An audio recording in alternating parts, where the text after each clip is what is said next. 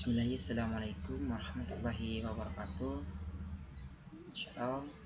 Perkenalkan nama saya Ahmad Turan Dengan NIM 1901095 Program Studi Pendidikan Kimia Fakultas Keguruan dan Ilmu Pendidikan Universitas Nusa Cendana. Pada kesempatan kali ini saya akan menjelaskan materi mengenai asam karboksilat Nah, sebelum eh, kita lebih jauh membahas mengenai asam karboksilat, maka terlebih dahulu kita harus tahu definisi dari asam karboksilat. Jadi, asam karboksilat merupakan senyawa yang mempunyai satu gugus karbonil yang berikatan dengan satu gugus hidroksil yang disebut dengan gugus karboksil. Adapun tata nama IUPAC asam karboksilat pertama dimulai dengan asam plus rantai karbon terpanjang yang mengandung gugus karboksilat CO2H dan akhiran ditambahkan dengan OAT. Misalnya pada asam metanoat, asam etanoat, dan asam butanoat. Nah, selanjutnya jika mengandung rantai cabang, maka atom C dari gugus karboksilat dengan rantai terpanjang diberi nomor satu. Nah, seperti pada tampilan pada slide ini diberi nomor satu karena ada cabang di sini. Cabang dari OH dan CH3 nah selanjutnya jika terdapat lebih dari satu cabang atau gugus cabang maka penulisan rantai atau gugus cabang menurut abjad. Dan jika senyawa mempunyai dua gugus karboksilat maka penamaan rantai utama diberi akhiran di OH ya, seperti pada asam propan ini mempunyai dua gugus karboksil maka ditambah dioat menjadi asam propan dioat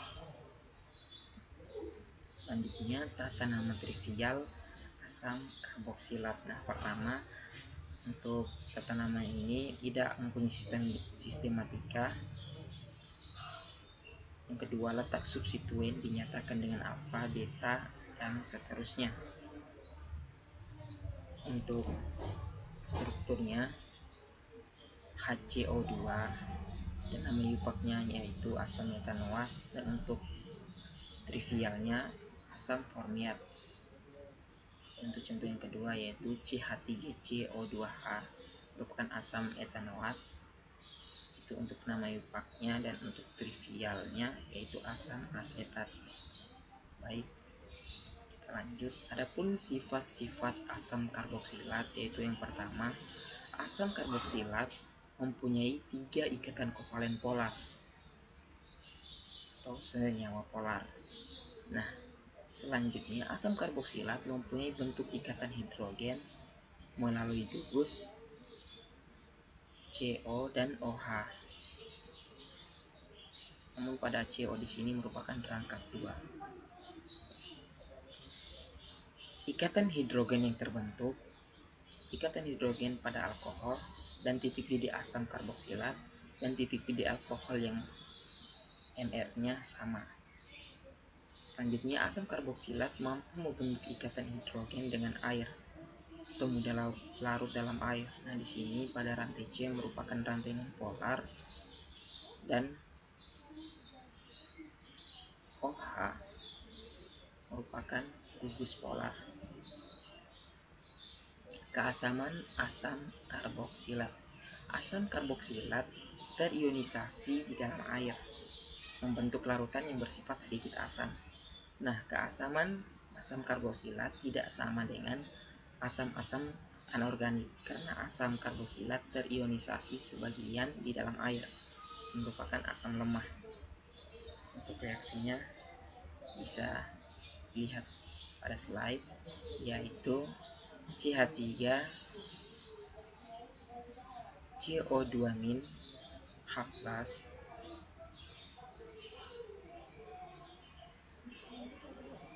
reaksi dengan maka terbentuk CH3CO2H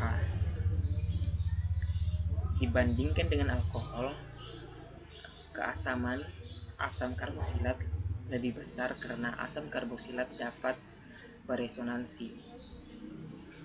Dan untuk CH3, CH2O tidak dapat beresonansi. Asam karboksilat dapat bereaksi dengan basa NaOH membentuk garam karboksilat. Nah, misalnya pada asam benzoat bereaksi dengan NaOH maka uh, dapat membentuk garam karboksilat. Adapun pembuatan asam karboksilat yaitu asam karboksilat dapat disintetis atau dibuat melalui cara Cara yang pertama oksidasi alkohol primer dan aldehida. Untuk cara yang kedua oksidasi alkena RCH sama dengan HR dan R2C sama dengan CHR. Untuk reaksinya seperti pada slide. Yang ketiga, oksidasi gugus alkil pada cincin benzena. Nah, seberapapun panjang Google alkil akan tetap didegradasi menjadi gugus karboksilat benzoat. Beberapa reaksi asam karboksilat. Yang pertama, reaksi reduksi. Kita bisa lihat pada slide. Asam karboksilat reaksi dengan 2H2 katalis menjadi RCOH dan H2O. Yang kedua, dekarboksilasi asam beta keton dan beta dikarboksilat. Reaksi dikarboksilasi ini khusus hanya terjadi pada asam karboksilat yang mempunyai gugus beta keton. Dan misalnya pada asam 3 ketobutanoat yang menghasilkan aseton. Selanjutnya asam lemak atau hidrolisis. Lemak atau minyak dihidrolisis menghasilkan asam karboksilat. Nah, pada tristearin atau gliserol tristearat